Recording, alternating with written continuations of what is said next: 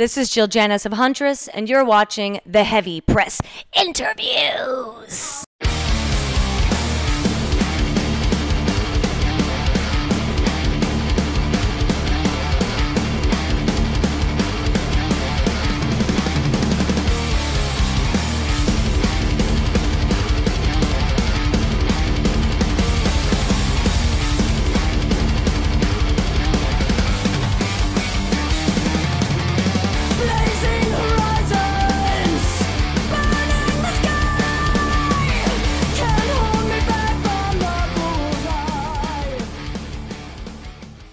So I'm Jeanette LeBlanc with the Heavy Press. Why don't you tell me what do you do? I'm Jill Janus of Huntress. I'm the lead vocalist, and we're on tour now with Lamb of God, Killswitch Engage, and Testament tonight in Toronto. It's the very first show of the tour for us. super exciting, super exciting. So I've been watching tons of interviews of you on YouTube, and it actually made me really excited to interview you because I got to see how nice you are on oh. camera and everything. So I'm really happy. But I learned while watching interviews that you started like your singing career doing some opera. Like that was your original influence, right? So how the hell did metal come in all this? Where did that influence come from? You know, it's it's been part of the journey all along. You know, my classical training is the foundation for my screams now. So without that classical basis and without that training, I don't believe I could maintain the voice night after night. And and especially with the the type of multiple voices I use and screaming and the lifestyle, it really the voice rules me now. So it with with that training, I'm able to really you know keep keep the ball rolling and, and not lose the voice. Yeah, I'd imagine that would be very hard with your powerful voice. Like I heard you can hit how many different octaves? How do they how do they say it in the in the singing world? Four octaves, yeah. Four octaves. Yeah, that's pretty crazy. It sounds intense. It's intense. The, the thing that may be confusing to those that aren't familiar with music theory is simply I have four octaves, but I don't use those in metal. What it does is it enables me to use multiple voices and, and like I said, sustain the voice. But in, in opera, when I first started singing, I was 10 years old. And shortly after that, um, I was told I was a coloratura soprano, which is the type that can break glass, supposedly. I'm still trying. I make dogs howl. That's, that's the closest I can get. That's awesome. So this has been a big year for Huntress. Like we saw you guys at Mayhem in Toronto this year. You just released your album this year as well in the summer. So you know, when did you guys? When do you find that you really became noticed? Like I know you've been at this for a while, but when did you start touring big and really getting a huge fan base? I began looking for musicians for Huntress about 10 years ago. Um, to backtrack on the previous question, which is why metal, I first uh, heard Suicidal Tendencies when I was about 13 years old and, and really, you know, got got bit with the bug for thrash. And so at that point, my mother wouldn't really allow me to pursue a metal career. Obviously, I thank her now for it. But uh, that's where it really started was a- a love of thrash music. So now forward into, you know, I'm going to school. I'm at a conservatory for music in Manhattan studying music and music theory. And, uh, and then I just wanted to put together a metal band, and I tried, you know, relentlessly to search for musicians. And anything I did, all the jobs I took on, were all to fund my music. So I wrote a few demos, recorded them, and then I met a band named Professor in Los Angeles. Um, and then we merged and you know joined forces to create Huntress. And this was back in 2010, 2009, late 2009.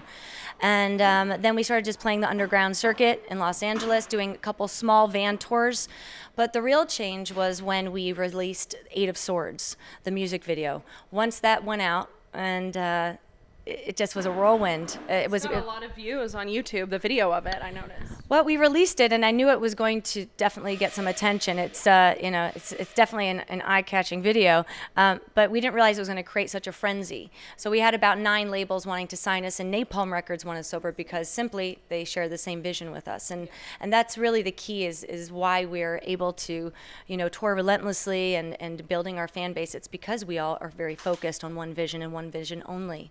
Of course. So it is a lot of hard work involved. Then it's definitely it doesn't just come to you, right? so, what would yeah exactly? So like we said, you just played Mayhem Fest. Right now you're touring with Lamb of God and Killswitch Engage. What would your perfect fantasy tour lineup be? This can even be bands that aren't bands anymore. I would say, and my bandmates would agree with me, it would be King Diamond, Mercyful Fate, um, you know, we'd love to tour with Judas Priest. We, we you know, we're, we're suckers for NWOBHM, and um, you can hear a lot of that in our music. We, we're definitely holding on to the roots of heavy metal, and we'll always stay true to the roots of heavy metal while being modern and, and current and crushing. And um, you know, we have we have a variety of influences in the band. You know, black metal, death metal, thrash metal. So all of those come through. So any any bands that you know that we've admired growing up. I think those are the bands we'd love to tour with the most. Um, and Lamb of God definitely is, is one of those bands. And for, for me, it's absolutely a personal victory and, and a, a dream come true. Uh, Killswitch Engage, again, just a legend of metal. And of course, Testament. We, we bow down to the to the altar of Testament. I know this is going to be an awesome show today. I'm so excited for it.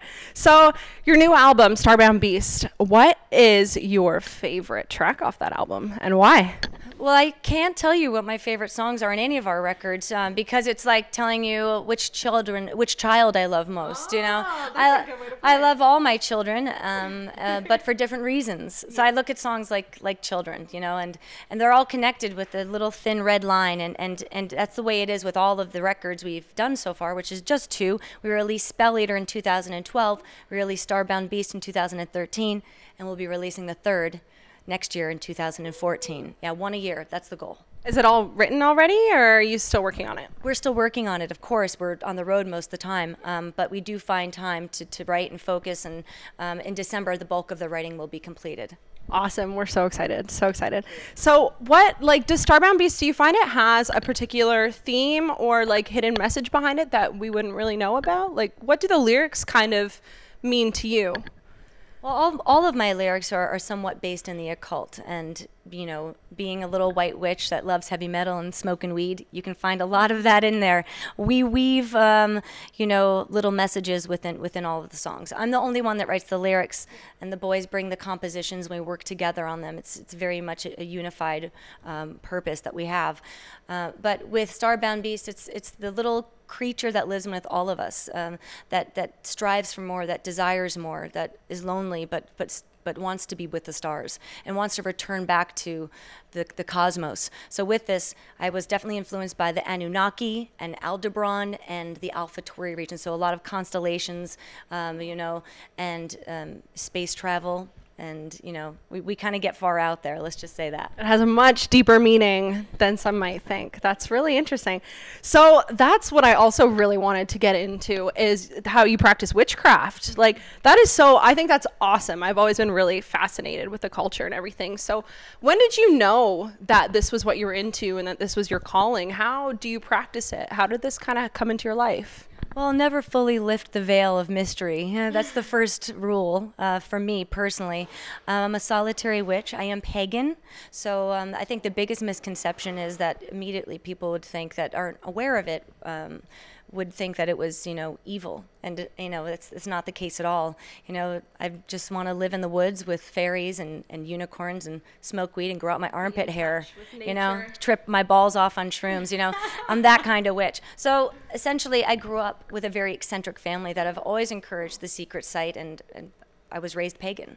So that's really how it all started for me was just from birth, always knowing that, that my path would, would be one of the, one of the, the light of the light, path of the light. Awesome. Well, it sounds like you leave, lead a really interesting lifestyle. It's really cool.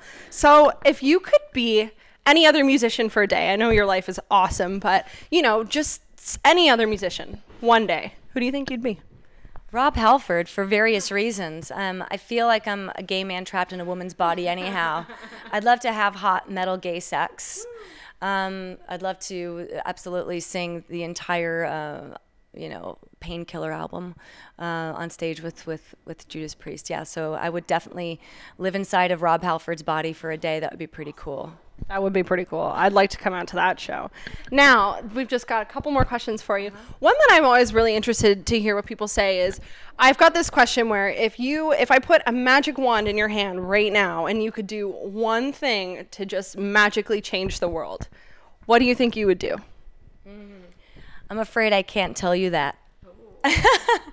uh, I know what I would do. I know in my heart what I would do, but I don't think it would be very good for humanity. But it'd be good for animals. Well, that's good. That's good to hear. At least, you know, you're caring about something out there, right? That's what matters.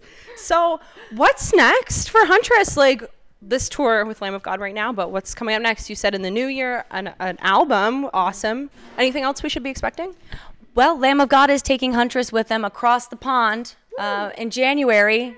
It's gonna be so cold uh, with Decapitated. So we'll be on tour with Lamb of God and Decapitated in January for a, European and UK tour. We're really pumped. We get to go to Scotland, and I've never been there before.